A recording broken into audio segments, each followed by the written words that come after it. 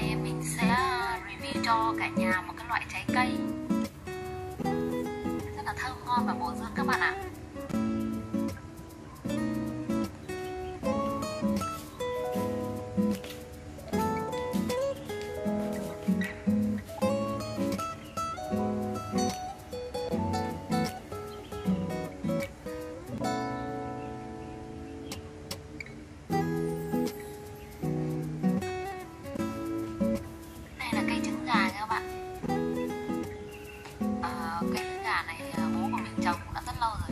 Quả rất là nhiều. Nhiều lắm rồi đấy. lấp ló này nó rụng bớt bữa giờ nó rụng ngày nào nó cũng rụng các bạn ạ.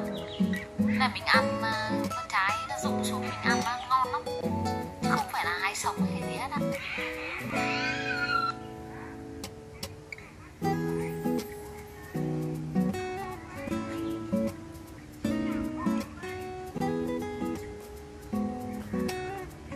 Thường thường những cái trái à, nhỏ mà cái cái trái xanh xanh này các bạn ạ rất là ngon.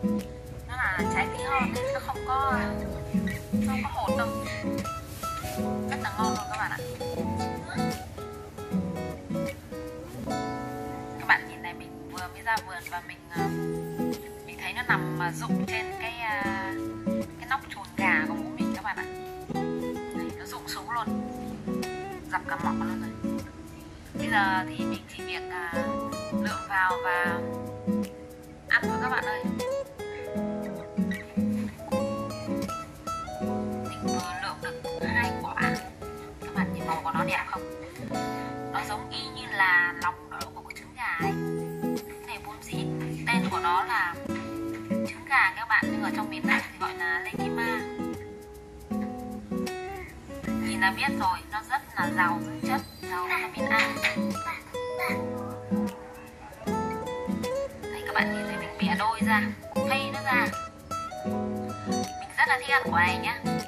Nhưng mà ăn xong thì à, nó hay dính răng hoặc là dính này, ghê lắm. Nên là nhiều khi cũng làm biếng ăn. Ngày nào nó cũng dùng dùng nhiều lắm các bạn ạ. Cho bớt người ta ăn luôn ạ. Giống như là có sẵn đấy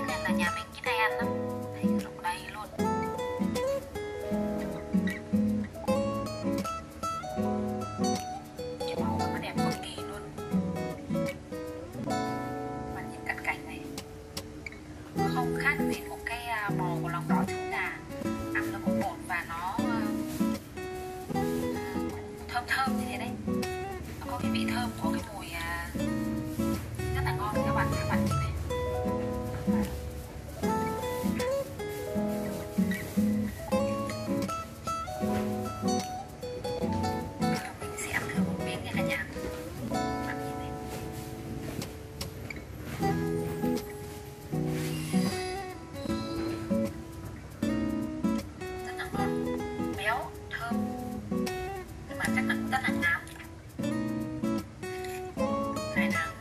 lần ăn một trái thế nào?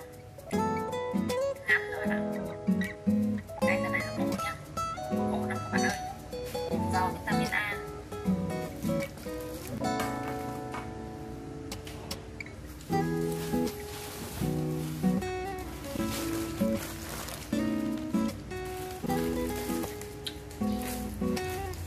Nó rụng xuống mà nó ờ, bầm dập luôn này.